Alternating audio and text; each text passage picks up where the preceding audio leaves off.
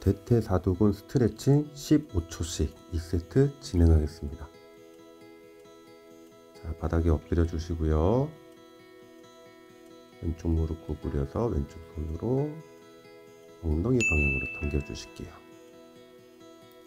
호흡 참지 마시고 허리 꺾이지 않게 배꼽을 쭉 당겨 주세요. 허벅지 앞쪽에 당김을 느껴보시고요.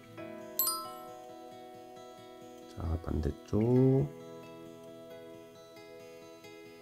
호흡 참지 말고.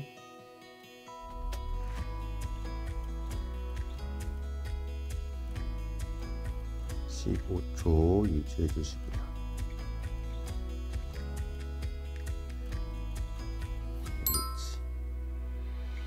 좀 쉬었다가 한 번 더 진행하시겠습니다. 자, 무릎 구부리고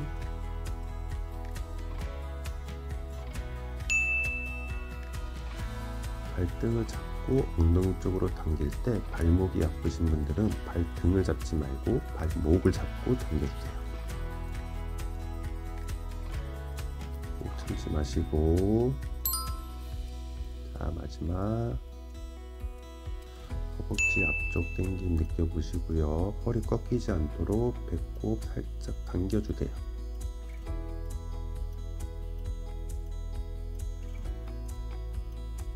꼭 참지 말고 옳지. 지금까지 대퇴사두근 스트레칭 15초씩 2세트 진행하셨습니다. 수고하셨습니다.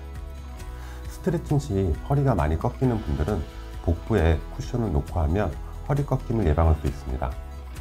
이 스트레칭을 서서 하는 분들도 계시는데요. 대퇴사두근이 매우 짧아져 있는 상태에서 선체로 스트레칭을 할 경우 골반이 고정되지 않아 오히려 골반의 전만경사를 더 유도할 수 있게 됩니다. 그렇기 때문에 허벅지 앞쪽 근육이 많이 타이트한 분들은 누워서 스트레칭 하는 걸 권장드립니다. 발 뒤꿈치가 엉덩이까지 잘 닿는 분들은 무릎 밑에 쿠션을 두고 무릎을 살짝 띄어서 진행해 주세요. 허벅지 앞 근육인 득대 직근까지 시원하게 당겨지는 게 느껴지실 겁니다. 허벅지 앞 근육인 대퇴사두근 스트레칭은 퇴행성 관절염 환자의 재활 운동으로도 추천하는 운동입니다. 무릎이 안 좋은 분들은 틈날 때마다 해주시면 걸을 때 관절에 가해지는 충격을 줄어들고 관절의 움직임도 많이 부드러워질 겁니다. 어렵지 않은 운동이니 평소 집에서 자주 해주시면 좋습니다.